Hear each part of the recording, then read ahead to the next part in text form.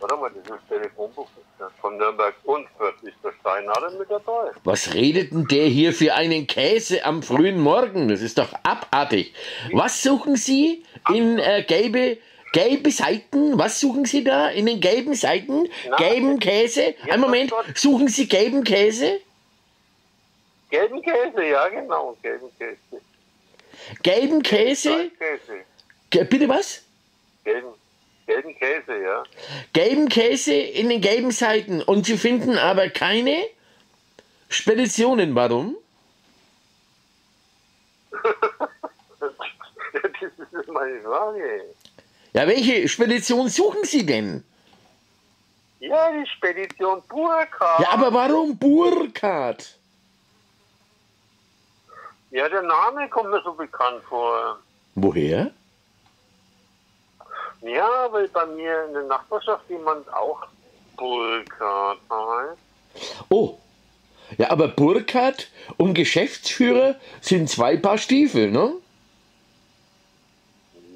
Ja, ich weiß. Wahnsinn.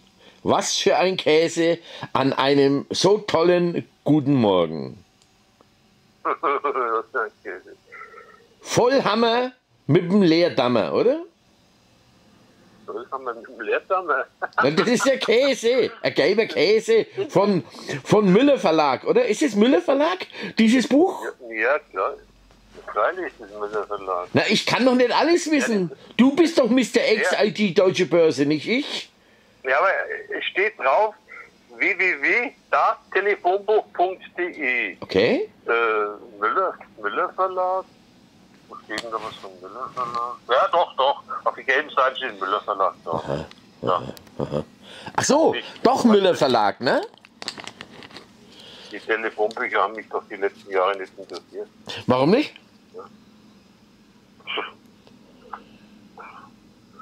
Die hat man mitgenommen, damit man sie in den Speicher legen, legen kann. Und mir fällt also auf, dass sie extrem dünn geworden sind. Ah, okay. Telefonbuch von Ja. Nürnberg und Fürth, Ja. das war früher mal so 4,5 Zentimeter hoch Aha, okay. in die 70er Jahre. Und Okay. jetzt Ja. passt das ganze Telefonbuch in 9 Millimeter, fast 10 Millimeter. 9 mm, ja, sagt mir was. 9 mm sagt mir was. Ja, ja. Ja. Und die ganze und die ganzen und das, obwohl praktisch im normalen Telefonbuch noch Firmeneinträge auch noch Aha. dazu. Aha, aha, Ach ja, schau her, Allgemeinpraxis, ja. Bin jetzt gerade zufälligerweise auf Allgemeinpraxis äh, habe ähm, Bretting Thomas äh, in, äh, in der Vaterstraße. Ach so, so kriegt, so kriegt eine Praxis plötzlich gelbe Werbung. Das ist ja unglaublich. Ja, und dann das Medic Center. Ja? Äh, Medic Center gibt es da 1, 2, 3, 4, 5, äh, fünf, äh, Einträge da drin. Okay. Äh, das ist wohlgemerkt im normalen Telefonbuch. Und der A. Und der A sind ja praktisch dann die Ärzte, ne? Die Ärzte. Ja, Oder okay. das, das, das Okay. die Ärzte. Ja, ja. Okay. Deutschland, Zukunft 24. Guten Abend. Da muss man sich, Abend, ja. das muss man sich mal geben. Ich habe gedacht, da hat doch was einer früh am Morgen am Stecker. Nein, das ist ein Mensch. Hier Müllert's anders im Müller Verlag. Äh, Entschuldigung, Müller Verlag. Nein. Ähm, die Frage ist, ist es jetzt Stand-up-Comedy oder Stand-down-Comedy? Nein. Keine Komödie. Keine Komödie. Ja, dann lad doch mal deine Birne anders, Mann. Was? Lade halt mal deine Birne anders. Äh, du meinst, ich soll ein Reset machen und dann neu starten, ein neues Betriebssystem einspielen oder wie soll ich, was soll ich machen? Also, unglaublich. Der volle Hammer mit Leerdammer. Wo sind wir? Der Hammer? Äh, der Hammer. Also, wie gesagt, ich habe das Gefühl, ich habe das Gefühl, ja, welches Gefühl habe ich denn? Ich glaube, heute ist ein Tag für Spielcasino. Aber da war ich schon lange nicht mehr drin. Da lasse ich dann andere Leute spielen. Weil die Permanenzen, die Permanenzen der Zufallsmomente, die lasse ich anderen bezahlen. Aber es müllert ab und zu anders. Ich wurde nämlich heute Morgen angerufen, deswegen bin ich heute Morgen schon mit der Schokoladenseite am Telefon. Ähm, Win, kommst du nach Karlsruhe? Sag hä? Lass mich in Ruhe, ich wohne nicht in Karlsruhe, habe ich dann aus Spaß gesagt, ne? Ja, ja, ja, ja, ja, ja. Da wohnt nur eine Kuh, ne? Grünweddersbach und so. Da wohnt nämlich in der Nähe ein BGH-Richter. Okay? Und Richter und Rechtsempfinden, das zieht mich an, schon seit Jahrzehnten durch Herrn Richard Stumpf, ehemaliger Landgerichtspräsident Bamberg, und meinem Großvater, die Rechtssuche aus Oberfranken mit Dr. Dr. Kalkbrenner und so weiter und so fort. Aber jetzt gehen wir schon in die vergangenen Annalen ein. Und jetzt spreche ich mit einem von der deutschen Börse IT, ex-IT. Entschuldigung, wenn schon, ex-IT. Und er sagt, er findet nichts mehr. Keine Spedition Burkhardt. Ich verstehe, warum man die vielleicht nicht findet. Weil es zu viele Geschädigte gibt, die ich analysiert und hinterfragt habe. Und es sind noch einige Fragen aus den Speditionshämmern aus Franken noch offen. Und dann sagen immer die Kunden, also die halt Kunde waren, hören's mal auf mit der Spedition Burkhardt.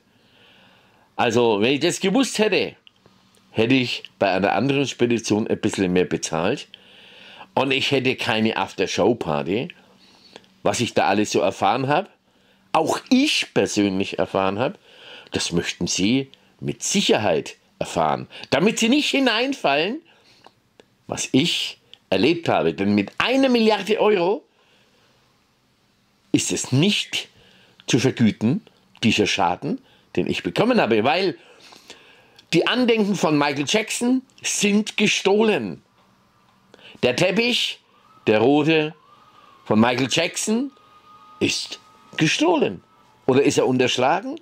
Was ist denn eigentlich, ach so, Herr Mr. X-IT, Deutsche Börse, was ist denn der Unterschied zwischen gestohlen und unterschlagen? Ähm, gestohlen ist ähm, materiell weggenommen und ewig verschwunden und unterschlagen Ja. ist ähm, unterschlagen ist, wenn man etwas in, in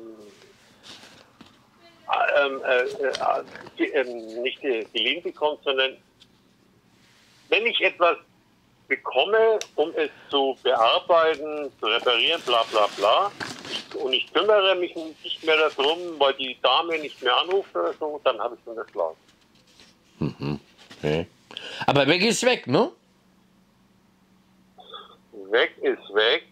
Ich hatte selber mal so einen Fall, da, hat, da hatte ich etwas äh, zu viel zu tun und habe dann aus Versehen einen Computer ein bisschen zu lange rumstehen lassen und die Dame nicht zurückgerufen. Und dann, äh, und dann hat die mich vielleicht selber nicht erreicht. Ich weiß nicht, woran das passt. Mhm. Ja, dann gab es halt eine Anzeige. Mhm. Okay. Und dann habe ich halt, dann habe ich hier halt den Computer schnellstmöglichst repariert und vorbeigebracht. Ja. Achso, das war ein War Versehen. so nicht so gedacht. Ja, das war so nicht geplant damals, diese Sache. Das ist jetzt irgendwann äh, 2002, Leute, 2002 und 2006. Leute, Gott sei Dank habe ich diese Chips. Das sind mehrere Micro-SD-Chips.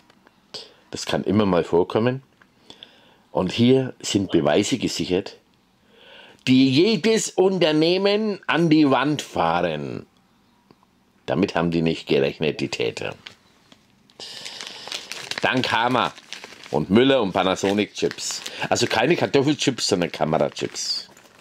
Und deswegen bin ich natürlich gefürchtet, wie, wer, das Licht ist auch gefürchtet.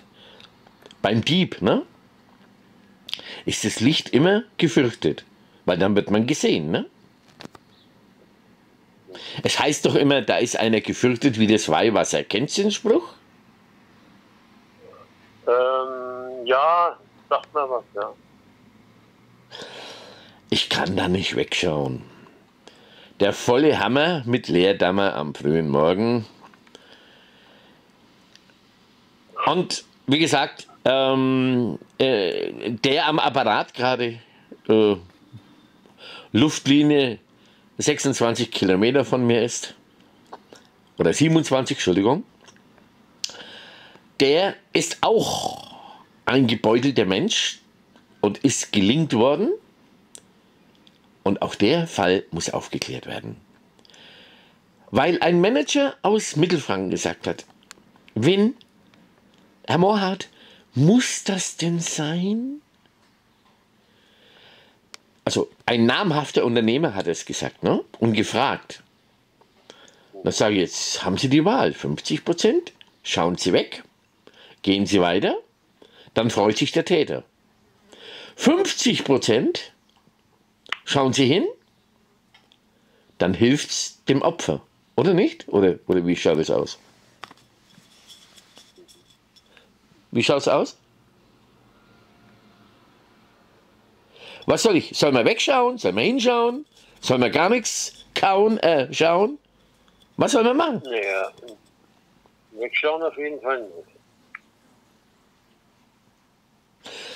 Deswegen Retterspitz hilft dir immer. Also ich mache jetzt hier so einen, so einen Werbemix. Im Grunde genommen ist das alles ein Megahammer. Mit Leerdammer oder nicht? Oft schmeckt er nicht so gut, der Hammer. Weil es ist ein Schock. Ein Schockhammer. Der Leerdammer schmeckt da besser. Leerdammer-Gespräche. Vollhammer am frühen Morgen. In diesem Sinne, vielen, vielen Dank, dass Sie an den Apparat gegangen sind. Immer mal ein bisschen gute Laune. Und wer weiß, auf welchen Bühnen Mr. XIT, Deutsche Börse, Frankfurt, äh, Karlsruhe, Nürnberg, wo halt überall, überall war, aber er möchte ja nicht so bekannt werden. Genau. Äh, verdeckt lebt sich's ruhiger, ne? Ja, durchaus. Ja. Vielen Dank. Natürlich One Move. Darf man nicht vergessen, ne? Mr. Dow Tremay. Denn seine Kontakte über Frankreich haben ja uns zusammengebracht, ne? Mr. XID Deutsche Börse. Und damit hat halt die Spedition Burkhardt nicht gerechnet. Und ich möchte nicht in den Schuhen laufen müssen von Herrn Schlicker oder Schricker oder Schlicker, wie er heißt. Das wird sehr unbequem. Ne? Sehr unbequem. Ich bin nicht Alphonse and Friends. Das wird sehr unbequem. Man hätte sich vorher überlegen müssen, was hier alles mir entwendet worden ist. Gute Nacht. Guten Abend. Vollhammer Leerdammer Galacom.tv